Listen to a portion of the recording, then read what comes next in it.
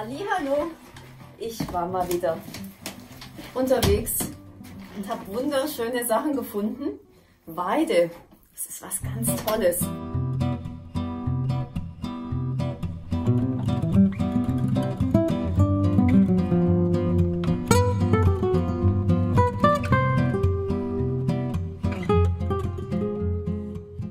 Und was man mit Weide macht, ah, wir kennen das ja, ich zeige euch das erstmal. Wir kennen das ja oft so von den schönen Sachen, die wir kaufen. Gibt aber auch Sachen, die man selber macht. Weidengeflechte. Das ist ein, ein traumhaftes Thema und wer einmal mit Weidengeflechten äh, arbeitet, der wird eigentlich süchtig. Und das ist hier ein Wurstgeflecht. Ja, das ist auch eine ganz tolle Flechtung. Das habe ich selber gemacht. Das ist eigentlich fast wie eine, wie eine große Untertasse, ja, mit so einem Gefäß, was ich geflochten habe. Und das habe ich auch schon eine Weile. Das haben wir jetzt für Ostern dekoriert. Wir haben hier schöne Kätzchen. Wir haben immer tolle Tulpen. Wir haben hier auch Nester gemacht. Ein kleines Nest haben wir gemacht hier mit einem Straußenei. Ähm, gibt aber auch größere und ja, also dann haben wir natürlich noch einen ganz tollen Hasen hier rein dekoriert. Also es wird jetzt österlich. Und es gibt auch zum Thema Weidenflechten einen richtig tollen Buchtipp von mir, weil man kann auch Körbe selbst flechten. Aber man muss die Weiden jetzt schneiden und das geht jetzt noch so bis April ungefähr. Aber sobald die Weide ausschlägt, kann man die nicht mehr verwenden. Ja, man muss jetzt wirklich die Weide, die noch so schön biegsam ist und ohne Blätter. Also äh, Frühjahr ist jetzt die optimale Zeit, um Weidengeflechte zu machen und ich habe auch schon Körbe mit Boden geflochten und da gibt's dann die verschiedenen äh, Flechtarten, also Splissflechtung und die, äh, wie man die Ränder macht. Also es, ähm, es macht süchtig und wenn man ein bisschen Zeit hat und man braucht auch ein paar feste Finger, dann kann man natürlich ganz tolle Geschichten machen mit, ähm, aus Weide.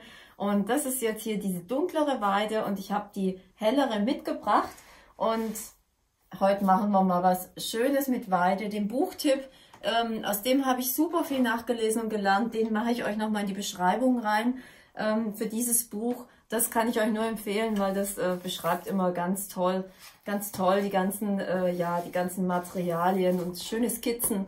Also tolle Geschichte, kann man viel lernen daraus und ich habe selber auch ein paar Weidenseminare gemacht. Aber jetzt gehen wir mal an meine Idee und in das eigentliche Video rein. So, hier sind wir jetzt im Arbeitsbereich gelandet und ach, ich habe so eine schöne Idee gehabt. Ich habe hier so ganz tolle, farbenfrohe Primelchen, hübsche mitgebracht und ach, bevor ich anfange gleich mit dem Video und es gibt hier natürlich auch so tolle österliche Arbeiten und naja, wie so klein sein, wenn es auch groß geht. Man kann auch so ein wunderschönes österliches Nest machen. Falls euch sowas interessiert, schreibt mal in die Kommentare das mit den mit Eiern bestücken, die man auch schön bemalen kann. Mit Buchs, mit Kätzchen und ach, da ist noch viel mehr drin.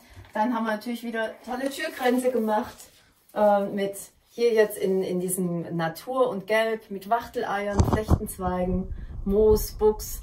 Es ist ähm, ja viel, viel Natur, wie immer, das kennt ihr von mir. Und hier ist mal ein ganz anderer Türkranz, das ist jetzt nur ein Halbrund, ja, und der wird hier so mit dem Band aufgehängt und da ist natürlich durch diese, ja, durch die Eier, Eier sind ja in der Natur auch immer auf dem Boden. Und deswegen ist eigentlich nur sehr natürlich, dass diese größeren Eier in dem Kranz auch unten sind. Ja, finde ich auch einen herrlichen Türkranz und auch mal eine ganz andere Form. Wir versenden auch Türkränze. Einige von euch wissen es, nicht alle, aber auch das machen wir. Und wir haben das ja letztes Jahr im März ganz viel gemacht.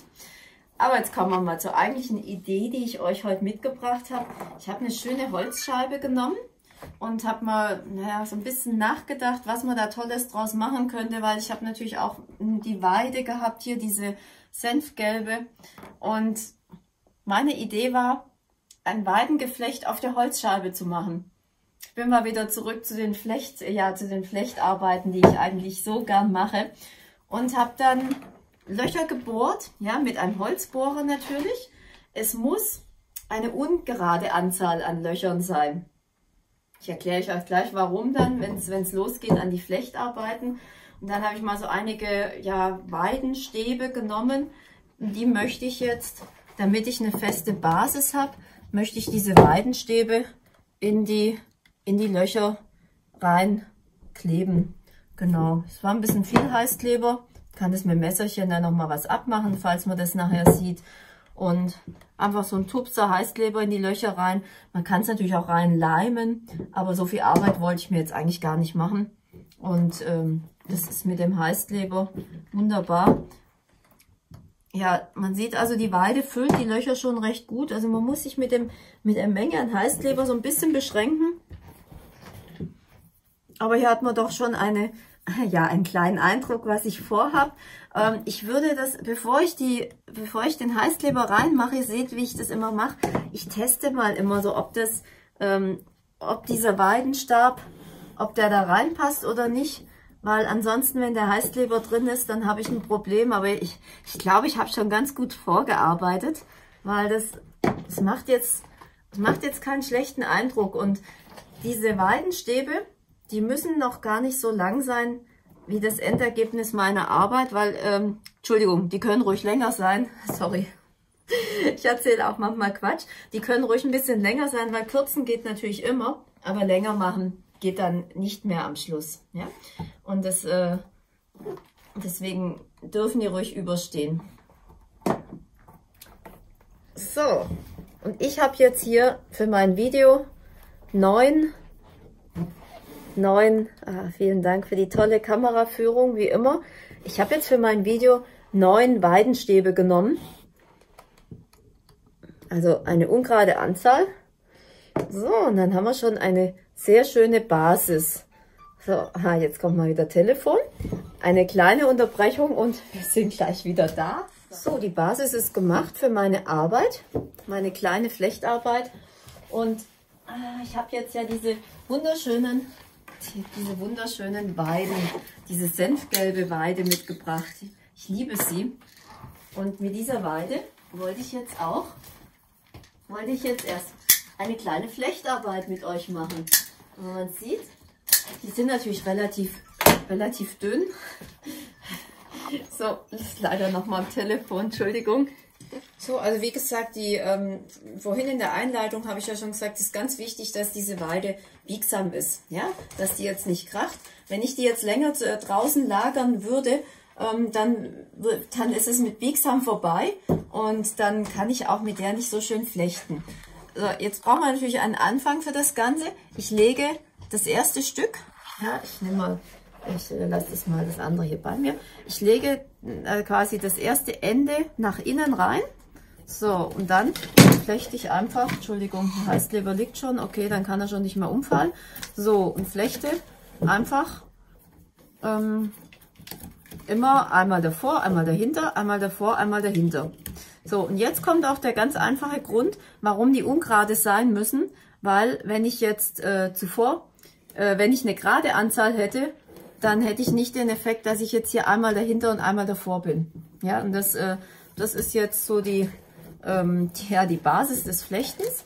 Ich habe jetzt relativ dünne Stücke.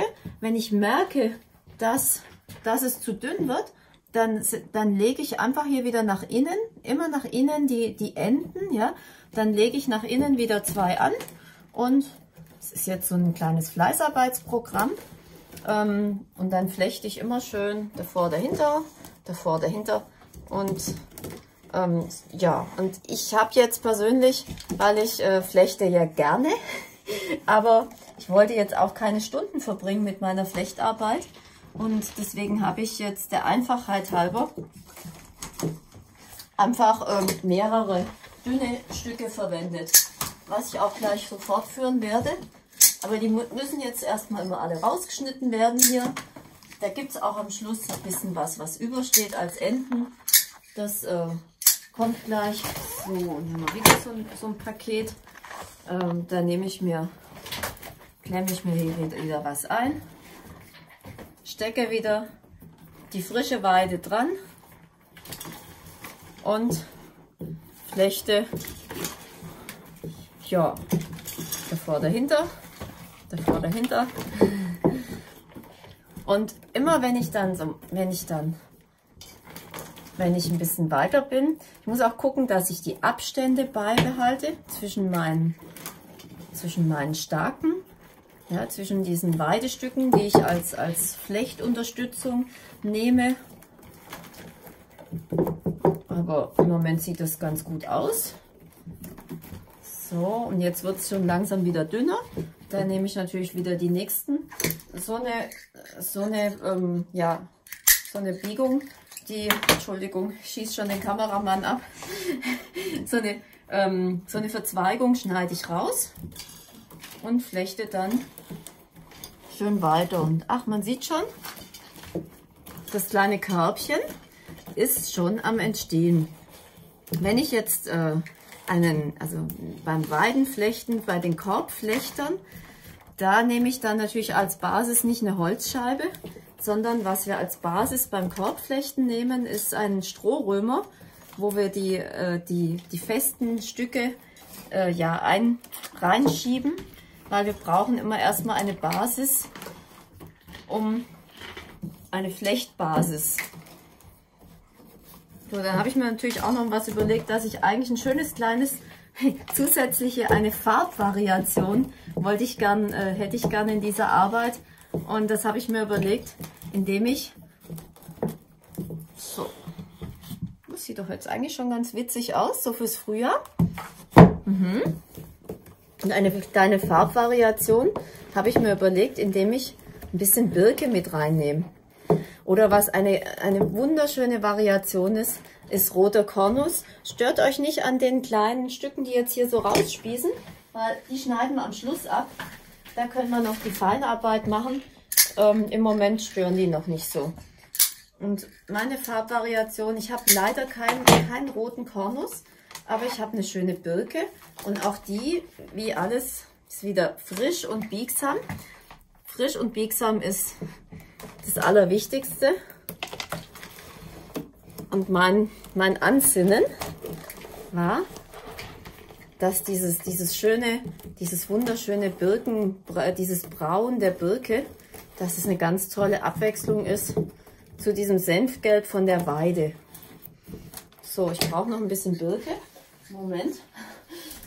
Also man taucht immer ab, aber ich würde diese Arbeit, wenn möglich, sogar draußen machen, oder ihr habt so eine Werkstatt wie ich hier.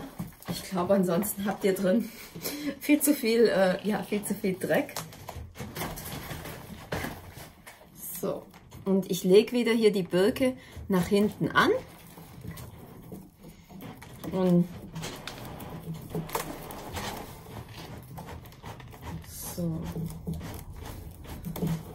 Also man braucht ein bisschen, man braucht schon feste Finger um, um zu flechten. Und je, je größer die Arbeiten werden, ähm, desto, desto fingerfertiger muss man sein. Man muss auch diese Starken hier ähm, zu ihrem Glück zwingen. Und so, muss auch diese Starken ein bisschen wieder grad richten, ähm, sonst wird man irgendwann schief. Wobei jetzt äh, auch diese Arbeit, ich würde es jetzt nicht so päpstlich sehen, die lebt ja auch von so einer, von so einer Lebendigkeit und soll, kann so frühlingsmäßig äh, gestaltet sein. Das ist jetzt kein Korbgeflecht, das irgendwie eine, eine Abnahmeprüfung bestehen muss. So, immer schön, schön runter, runterdrücken und ich nehme auch nochmal von der Birke die Würmchen und äh, drücke die nochmal mit, mit dazwischen. Ich finde die eigentlich sehr, sehr schön. Ich möchte die gar nicht alle wegschneiden. So, finde die eigentlich ganz toll. Und jetzt können wir ja auch dazu übergehen nochmal. So, jetzt haben wir eigentlich genügend Birke. Jetzt würde ich nochmal Weide flechten. Man kann auch, man kann auch Weide, sehr schöne Weide bestellen. Also, oder man kennt jemanden, der so einen Weidenbaum hat. Vielleicht habt ihr auch im Freundeskreis jemanden, der so eine Riesenweide hat und der die immer schneidet und wo diese, dieses, dieses herrliche Material ähm, ja, leider Gottes im Müll landet, im Biomüll wie so oft.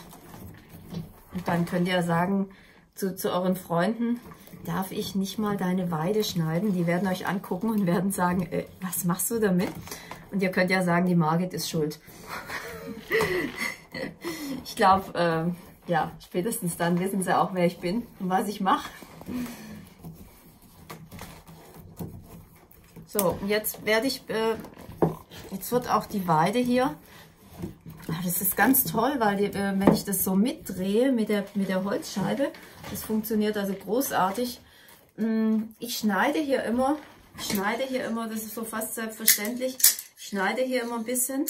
Ähm, ich mache immer die festeren Stücke äh, raus, weil wenn es jetzt zu fest ist, dann, nee, das geht sogar, aber ähm, ich äh, brauche brauch dünne Stücke, weil je dünner die sind, desto flexibler sind meine Weidenstücke.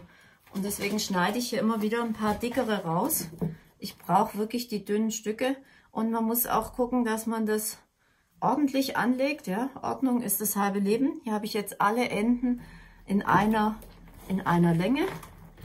Und weiter geht's wieder mit der Fleißarbeit. So.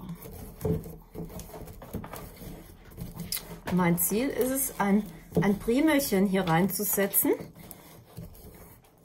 Das heißt, ich brauche im Grunde um die Höhe von meinem Primeltopf als, äh, als Flechthöhe.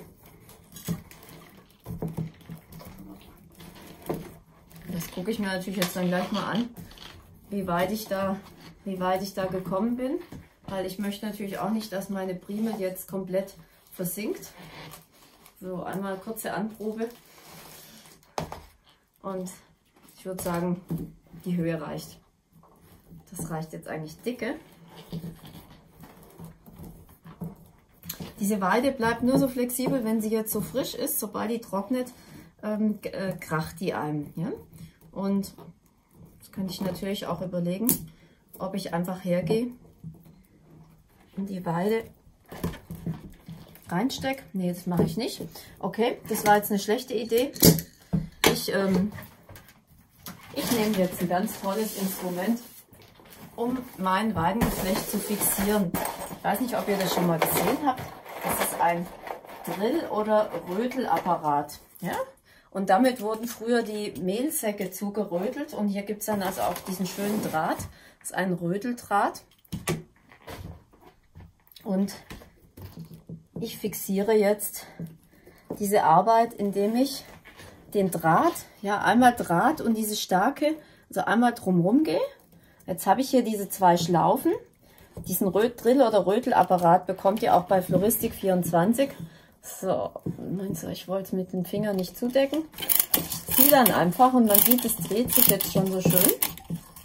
So, wenn man zu lange zieht, dann macht's, dann macht's Peng und dann knallt einem der Draht um die Ohren. Aber hier ist es jetzt schon ja, richtig schön fest und ich habe den Draht nach innen gebogen und genau, genau gleich. Muss nicht unbedingt jedes, an jedem feströteln, aber ich würde jetzt mal so, naja, alle zwei, drei starken kann man mal schön runterdrücken und röteln. Und es gibt natürlich beim Korbflechten auch noch einen schönen Korbrand, aber für diese kleine Frühlingsarbeit brauche ich, eigentlich, ich eigentlich nicht jetzt extra einen Rand flechten. Hier, ich habe hier noch dieses Drahtende. Ähm, entweder ich schneide es ab oder dann habe ich auch keinen Draht, an dem ich mich jetzt stoßen kann. Biegt das einfach nach innen rein. Ja, das ist echt eine schöne Sache, wenn man mal so einen Rötelapparat hat. Viele kennen es vielleicht von, in dem, wenn man Zweige äh, zu, zu einem Nest rötelt, ja, oder kann man also ganz tolle Sachen machen. So.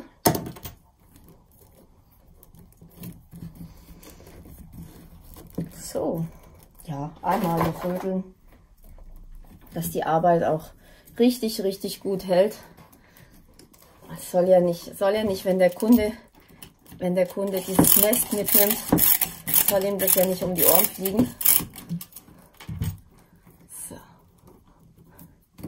Okay. Das ist doch jetzt schon eine coole Sache, oder? So wie das jetzt aussieht, kann ich natürlich noch ein bisschen Feintuning machen, indem ich, also die Weidenstücke würde ich auf jeden Fall rausschneiden. Von der Birke lasse ich die, die Fruchtstände, die jetzt nicht so weit rausstehen, So ein bisschen was lasse ich rausgucken. Ich nehme nicht alles weg, aber von der Weide finde ich es jetzt nicht so toll, wenn da so viel raussteht. So, einmal Friseur spielen. Und dann sieht es schon perfekt aus für den Auftritt. Also wichtig ist immer, dass das auch fest ist. Und ich finde durch diese, durch diese kleine dunkle Zwischenschicht, finde ich, ist das auch sehr, sehr ansprechend und sehr gelungen. Und jetzt gehe ich einfach her und mache meine, meine Flechtbasis, schneide ich ab. Wie immer braucht man natürlich eine gute, eine wunderschöne, gute Gartenschere. Und dadurch, dass ich das so fest gerötelt habe, laufe ich auch nicht Gefahr, dass meine Arbeit sich wieder auflöst. Schüttel jetzt erstmal hier genau den ganzen Dreck raus. Und mein Ziel ist, so eigentlich wollte ich ja noch Moos reinsetzen, aber ich finde, dass ich eigentlich gar kein Moos brauche. Ich finde, dass dieses Briemelchen schon so so dekorativ ist. Ähm, was ich allerdings machen würde, es ist ja auch Holz und ich möchte das Primelchen ja auch wässern. Das heißt, ich würde auf jeden Fall, hier ich mir gerade ein Stück, ich würde auf jeden Fall ein bisschen Folie reinmachen, um das Holz zu schützen. Unten rein. Und äh, dass ich das, die Primel auch wässern kann. Oder ich stelle sie natürlich in einem kleinen Kunststofftöpfchen rein, das kann ich auch. Ich kann es auch mit Folie überbrücken. Und wie gesagt, zuerst wollte ich eigentlich auch noch Moos reinmachen, aber es ist überhaupt nicht nötig. Es ist so schon, schon ganz toll, sehr dekorativ. Und dann haben wir mit ganz einfachen Mitteln einen kleinen, schönen Innentopf und haben, ja, haben eigentlich eine wunderschöne Frühlingsarbeit gemacht. Und das ist auch eine ganz tolle Geschenkidee gibt noch viel mehr tolle Videos mit Flechtarbeiten oder nein, nicht Flechten, aber mit äh, gewickelt. Aber Flechten wäre natürlich auch noch eine Idee und schreibt mal in die Kommentare, was ihr von Flechten haltet. Kann ich gern auch noch ein bisschen was zeigen, weil ich habe da natürlich einige Sachen gemacht und ich freue mich, dass ihr da wart und wünsche euch ganz viel Spaß bei eurer Flechtarbeit. Eure Margit.